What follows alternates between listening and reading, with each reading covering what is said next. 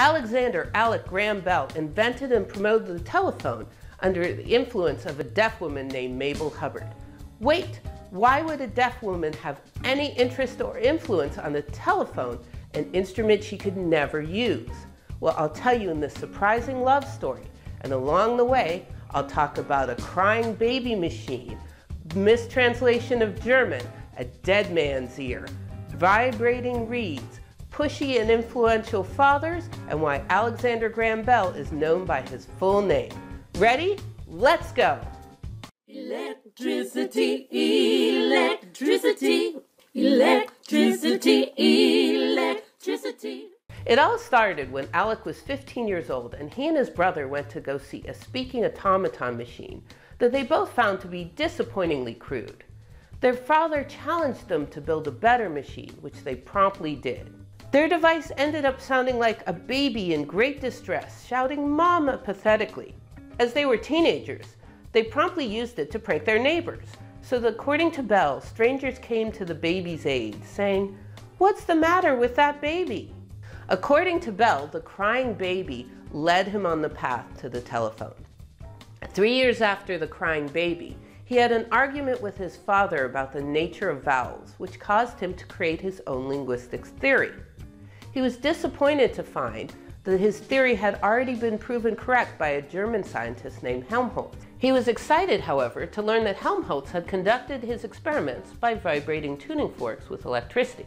Bell thought that Helmholtz had transmitted vowel sounds with electricity, causing him to think that he could transmit consonant sounds as well, and then whole speech. Bell began to study electricity and attempted to recreate Helmholtz's experiments and invent the telephone. However, it turned out that's not at all what Helmholtz had done, but as Bell didn't read German, he didn't realize his mistake until well after he had invented the telephone.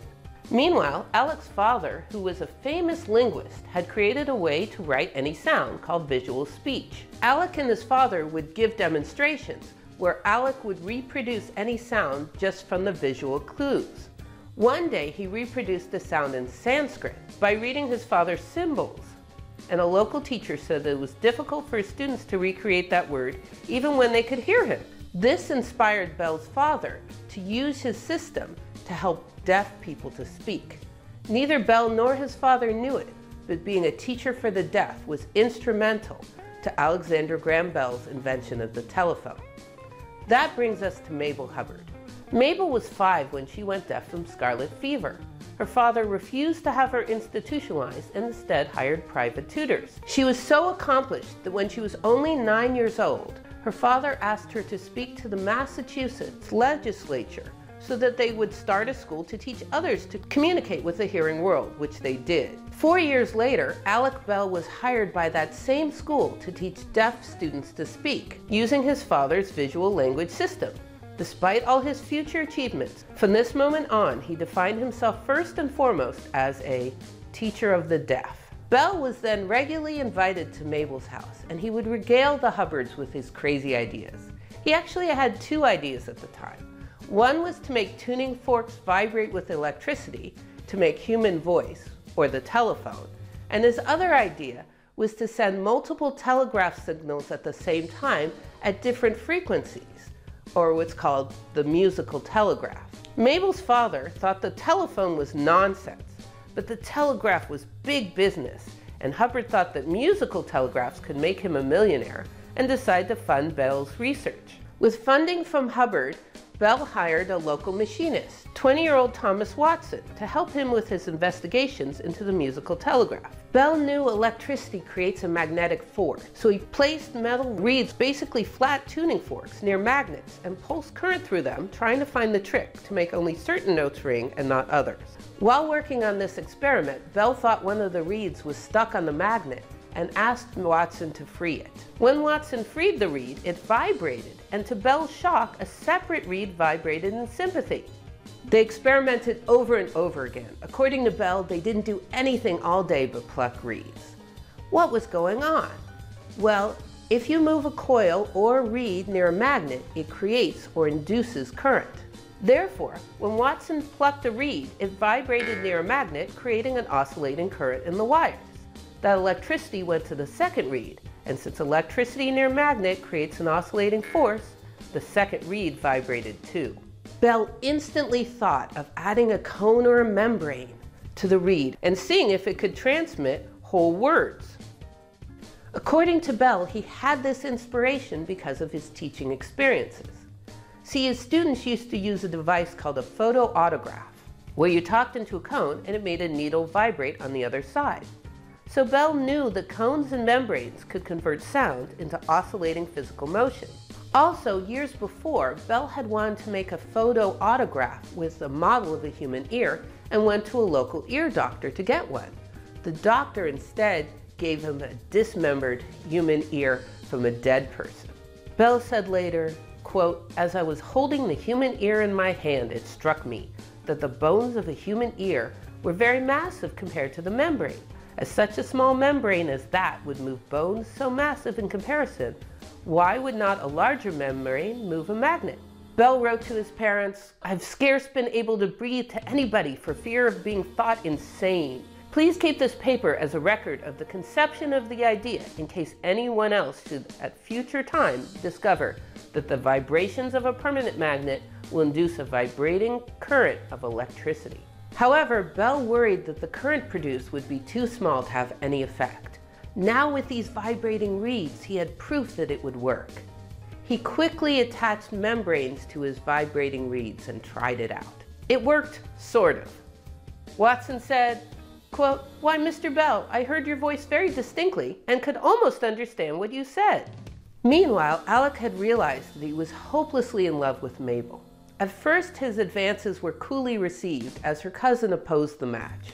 However, when Mabel almost drowned in the ocean, she realized she did care for Bell and rushed home to tell him. Quickly, they became a couple. Mabel's father, Gardner, was lukewarm on the match as well. He felt that Mabel was very young. She was just 17, and Alec was too old, 28, and unstructured.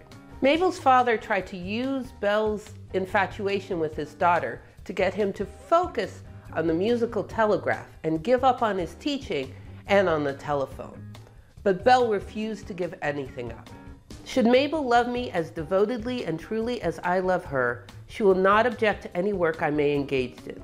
If she does not love me well enough to accept me, then I do not want her at all. I do not want a half love. Mabel's father's plan backfired as just two days later, on Mabel's 18th birthday, she agreed to be engaged to Alec. Alec then went back to working on the telephone. Mabel's father decided that as long as Alec was dedicated to the telephone idea, they might as well patent it and soon.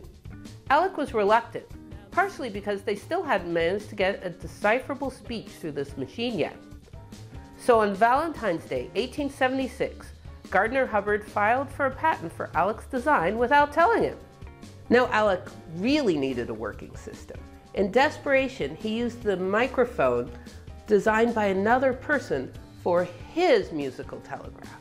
On March 10, 1876, Bell accidentally spilled acid on his pants and shouted, Mr. Watson, come here, I want to see you. When was astonished when Watson ran into the room and told Bell he heard him clearly through the telephone. This was the first instance of using the telephone to transmit understandable speech. Now that they could understand the words, they quickly improved their speaker by replacing the membrane with a solid metal backing. With a better speaker, their original microphone worked, and after some tweaking, it worked decently at long distances. They're ready to show it off.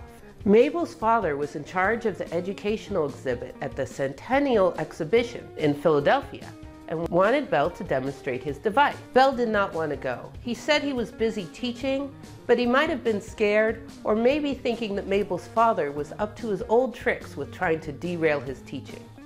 Anyway, Mabel took him on a ride to the train station and then basically cried till he got on the train. Quote, who can bear to see a young girl weep? I just jumped on that train.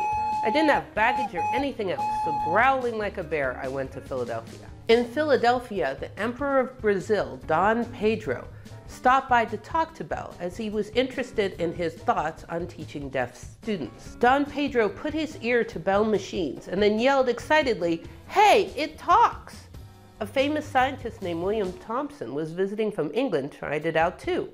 Quote, it does speak. Is the most wonderful thing I've seen in America. Bell recounted the events as follows. I went to bed the night before an unknown man and awoke to find myself famous. I owe it to Sir William Thomson, back of him to Don Pedro, and back of him to the deaf students of Boston. After that success, Mabel suggested that Bell go on a series of telephone demonstrations across the country. She also insisted that he should stop calling himself A. Graham Bell and instead present it under his full name, Alexander Graham Bell, saying, No A for me, which is why he is known by his full name even today. This was a romantic time for the couple. When they got together, they would stay out late, and Mabel wrote a letter to her mother Quote, Mama dear, please don't scold us. We really couldn't help it. We were talking, so we had to stop under every lamppost so I could see what Alec had to say. In July of 1877, Bell and Hubbard founded the Bell Telephone Company, which is now AT&T. And Alec and Mabel got married two days later. They were happily married for 55 years. At his deathbed, she whispered, Don't leave me, to which he signed, No, but fell into unconsciousness and died soon after. Mabel was devastated. Her daughter said that, quote, you never forget for a moment that the heart of everything had gone out of life for her forever. Mabel died the next year. In the 1870s and 80s, only the very rich and powerful had the money to use a telephone. What really changed things, what started the electrical revolution, was electric light and electrifying whole cities to provide that light. How Thomas Edison willed a light bulb empire into existence is next time on The Secret History of Electricity. Electricity, electricity. Thanks for watching my video. Please remember to give it a nice thumbs up and check out the next one about Edison the light bulb. It should be a good one. And don't worry if you're a fan of Tesla. The video after that is going to be about Edison, Westinghouse, and Tesla. Have a good day.